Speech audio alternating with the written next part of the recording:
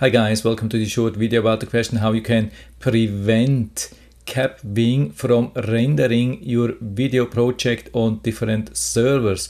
Why is this important? This is, or this can be important because this could lead to some problems. Imagine you have some cut here in the video. I mean, this is just a picture, but it's uh, pretty much the same.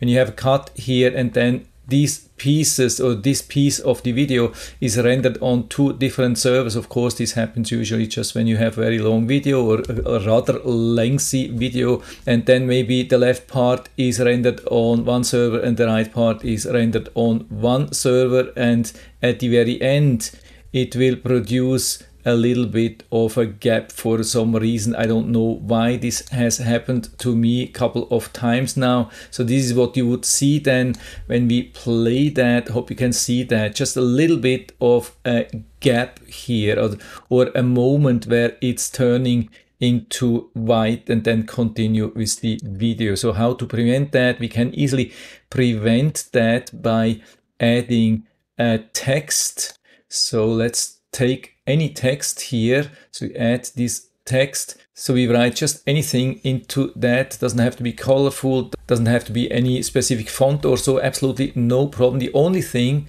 which it has to be is this vibrate effect. So that's the thing, you can see that here, the vibrate. And then what we are doing, we are moving this out of the view. So for example, to the left side, you can see that here. So we still have it. What's also important to make it full length. So just add this additional layer in a full length for this text, which is vibrating. So put it on side. And so of course at the very end, you will see only this part here and this vibrating text will be not visible, but it will prevent from rendering on different servers and so it can prevent from causing this problem. What I did last time, of course, I mean, it's not a big deal. I just made this overlapping here a little bit and then after that the problem was also gone. But if you don't want to change your video project and just want to know a workaround for that, then just add this vibrating text in the full length. So that's it. Maybe this can also help for other problems. I haven't heard about that. Maybe if you have some rendering problems and you click on export and then Kapwing is saying, yeah, there was a problem exporting. I don't know if this can help. Maybe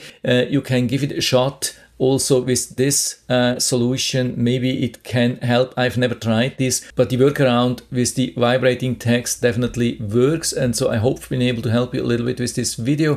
If you have any questions or comments just write to the comment section below and i'm always happy to talk about these things. And if you like the video give me a thumbs up subscribe my channel. Thanks for watching. See you next time